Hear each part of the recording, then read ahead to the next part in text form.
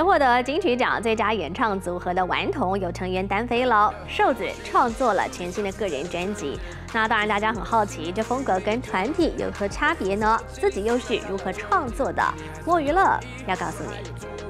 Hello，大家好，欢迎收看默默娱乐，我是默默莫小真。今天邀请到的娱乐大来宾呢是瘦子，欢迎瘦子。好，大家好。是我新专辑《新专辑灵魂出窍》，Outer Body 灵魂出窍。哎，非常不容易，听说这个预购的时候就已经破了一万八千张。是是是。好厉害哦。对，其实有点吓到啊，那时候也没有想到会卖那么多，我想说。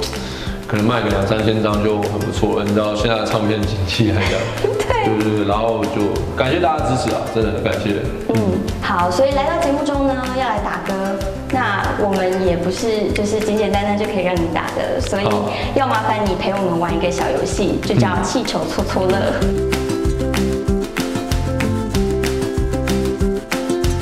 这比我想象中的还紧绷哎。对啊，我都流汗了，瞬间啊。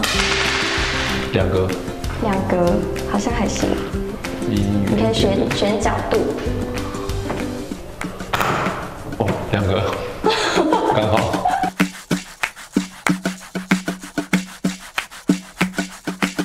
一、二、三、四，它不会爆炸的时候，那个全部射出来吧？哇塞！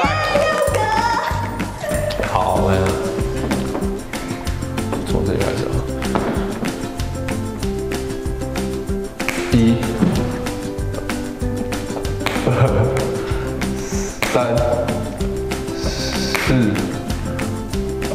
五。哇！这个气球也太强了吧！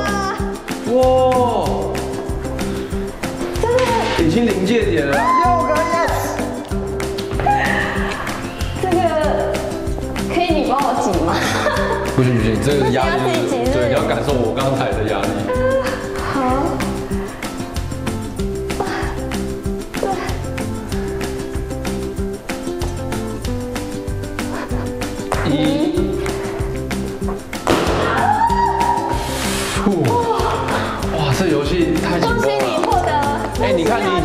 已经，碰到对角了。哦，原来是这样。真的，你已经到底。所以我选错根了。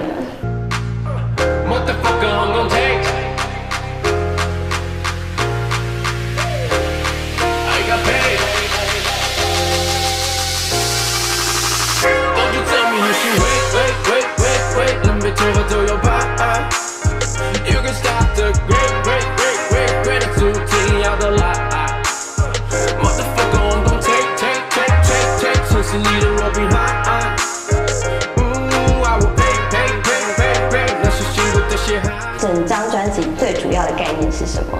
这张其实在讲的就是科技跟人际关系，嗯，对，在讲，然后还要讲就是这个社会啊，这个世界环保的一些议题，嗯，对，但是我不想要用太。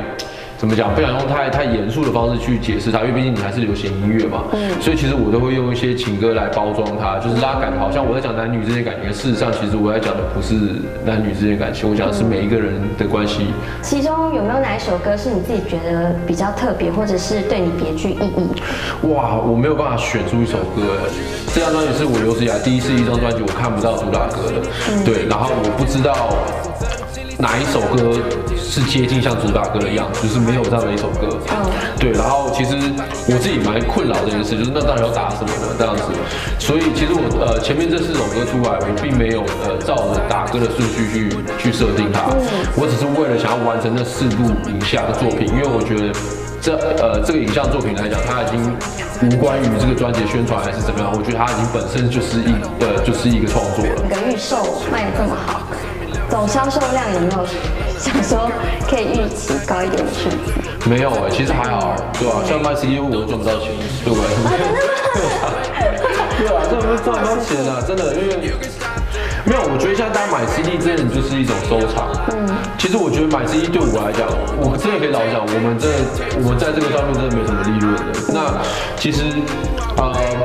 现在大家买东西是一个收藏品，所以你拿到这个东西，你根本不会用 CD 去听音乐，原则上，因为你现在要听音乐，其实在所有的数位平台上面都可以听到音乐了，所以根本没有必要。那既然它是个收藏品，所以我们又更花很多心思去设计它，它的用料也好啊，这所有成本。根本就是没利润，嗯，所以我觉得这个东西有点像是我跟我歌迷之间的，呃，之间的一个一个小礼物。好哦，那我们记得大家要去买那个瘦子跟我我们歌迷之间的纪念品。